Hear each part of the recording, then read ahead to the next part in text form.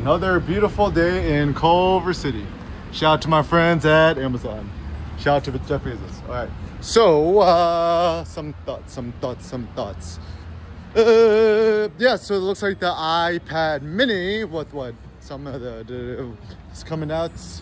Good news, good news for Apple. I mean, it looks like Apple's not dead yet. Buy MicroStrategy stuff, MSTR, Michael Saylor. Just go to uh, michael.com. He has a pretty good new Bernstein interview transcription that I've been watching. But uh, anyways, uh, yeah, everything's gonna be fire. Just keep buying Bitcoin until you die. Hold it forever. And uh, the goal is try to accumulate at least 20 Bitcoins, 50 Bitcoins, 100 Bitcoins, a thousand Bitcoins, get a million Bitcoins. Uh, is the goal. People's like, what's the point, right? It's like, it's like, you should be grateful for what you have. And I'm like, why would Apple want to keep indefinitely selling more iPhones and profits, right? So don't listen to any of this nonsense about, you know, carbon footprint, blah, blah. It's like everyone's just trying to make money, right? So, uh, money, money, money. Uh, and also some thoughts about heavy, heavy philosophy. Um, yeah, so what is the heaviest, most durable form of money on the planet? Bitcoins. It could last a thousand, ten thousand years. Uh, any other assets, even if you own property at 1.1% uh, tax, right? It might only last 90 years. And so the reason why you want to think long term is, you know, okay, I okay, I can't speak for everybody, but I think it's a good idea to have a kid, at least one kid, ideally at least two kids, because uh, you know the reason we have two kidneys, two lungs, etc., is the chance of, uh, yeah, I mean, it's kind of tragic, but you know, chance of one of your kids not making it until adulthood, uh, quite high. So memento mori, Stoic philosophy is uh, good. I mean, even if I had things my way, I'll just create an army of kids just named after my favorite uh, Stoic philosopher. So, you know, first, first bet up, obviously my son Seneca. Um, I think if I had another kid, I would name uh, him or her Aurelius or, you know, something else or Zeus or Hera or Aphrodite or uh, Pallas Athene, Athena. Athena, I think Athena is a good name for uh, for daughter. But anyways, um, programmable money. So everyone's trying to learn JavaScript and you know Python, blah blahs, right? Now that the ChatGPT 01 is incoming, the architects of the future, I think it's like you're gonna want to know how the underlying code works, the general concepts, but also with web design, I mean, just know basic HTML like myself, right? You don't have to know how to program a website from scratch, right? So it's easier to just download a really good template, modify it to your heart's liking, rather than learning all the, the code from scratch is kind of uh, not super useful. Like kind of like you're not gonna grow your own cow. Uh, don't like learn the learn the bare bare minimum, then learn how to edit it based on that, rather than learning it from scratch. Scratch is kind of overrated. Like even with cooking and food, etc. Like obviously the the virtues of stuff from scratch is it's kind of more of a funsies thing. It's not like a virtue thing. So, anyways, uh, heavy, heavy. When that go heavy. Oh, so I just bought this new Titan Fitness calibrated steel plates, the 50 kilograms, which is like 122 pounds. Very, very heavy. Oh, and also pro tip. The best car is the GR Corolla. Oh yeah, I love this car. $42,000 stick shift. Yeah. This is the real men drive a GR Corolla. Um, even the new Sequoia is pretty cool. Actually, funny story. Somebody at the Toyota dealership here in Culver traded in a Cybertruck like five or six months ago. And guess what they ended up buying? Sequoia. Yeah, the Sequoia.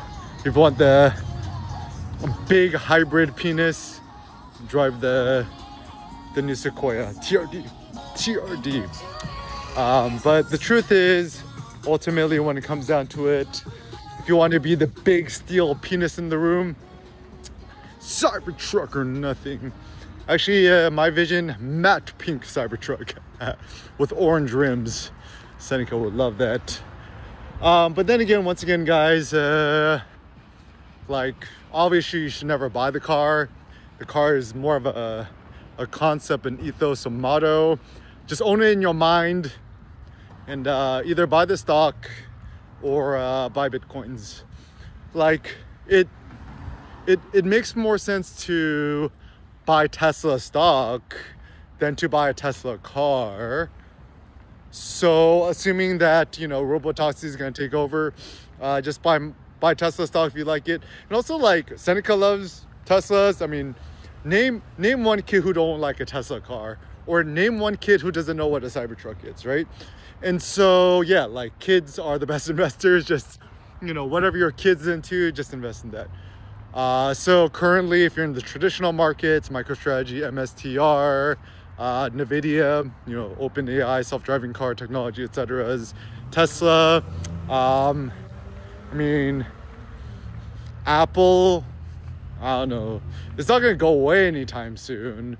But if you want monster extreme gains, uh, don't buy Apple. Uh, I call it the three headless horsemen, Tesla, NVIDIA, and MicroStrategy.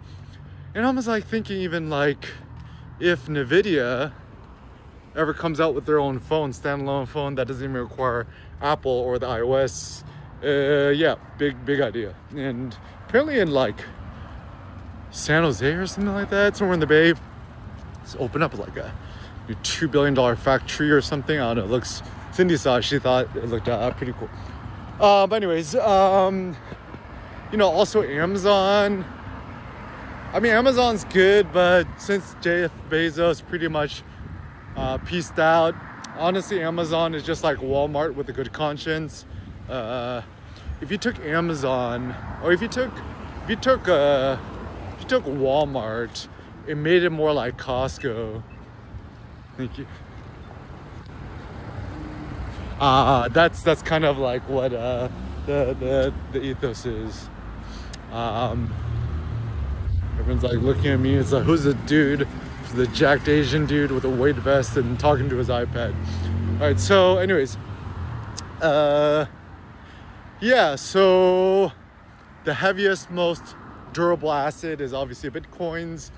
Um, and it's so funny too because people like it's not worth anything. I mean, obviously it's not, but then is your fiat money, is your US dollars worth anything? uh, then people talk about gold, right? It's like a bar of gold, right? Like think about King Midas. What? Can you eat your bar of gold? Use it as a doorstop. Uh, and actually, the the big deal about Bitcoin, right? The reason why I do think it is digital gold or cyber gold. Someone ever said cyber gold? Okay, we should call it cyber gold because it's not an air token. You actually have to use real life energies, real life electricity, in the real world to produce a Bitcoin. And it's not a bug, it's a feature. It's a feature, not a bug. Because if you could just snap your fingers and a trillion Ethereum or air tokens comes out of thin air, an air token ain't worth nothing because you just have some sort of uh, nerd push a, a button on a computer, right? And then magically all this value comes out. And also the reason why I don't think you should trust Vitalik or Ethereum, blah, blahs, right? Is you don't want a central governance structure. I mean, like, if you really do believe in open, open source, right? Don't you know that Bitcoin is open source money, right? And from an ethical ethos philosophy perspective, the reason why I really love Bitcoin is it's like the world's first digital open source money. It, it's essentially what PayPal tried to be with Peter Thiel and Max Levchin, the PayPal uh, squad mafias, and also Elon. Uh, and they, you know, they did a, they did a good job, but then you know they got bought out, and, and you know they could have taken it so much further. Um, but uh, yeah, I think the, the hard thing for people is to think first principles, think from scratch, right? So even uh, one of the best things I recommended was reading Ferdinando Galiani's On Money della Moneta. It's a whole treatise he written what like 1700s on what is money and any sort of real economist or thinker or entrepreneur is also part philosopher, uh, velociraptor. And so if one cannot think critically from first principles, then whatever innovations and entrepreneurial things you do, essentially it's not going to have any sort of backbone or spine uh, behind it. Um, and even the purpose of higher education, in my opinion, it should be all about critical thinking, right? Critical, kritikos in ancient Greek means judge, right? So there's even this funny sticker that I saw in uh, Providence, Rhode Island at Brown University. It's like resist critical thinking, and uh, it kind of was a a nice thought. Um,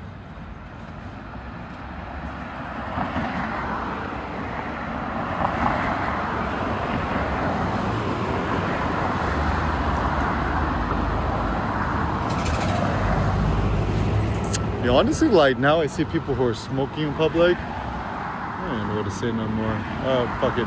Uh, give him a dirty look on it. Um, not with your battles. Actually, the